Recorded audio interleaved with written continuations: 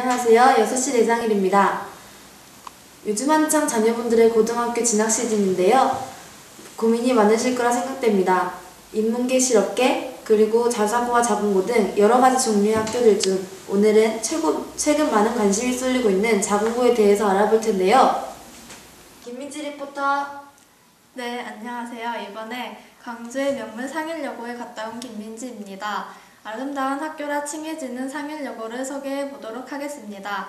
모두 함께 상일여고로 가시죠.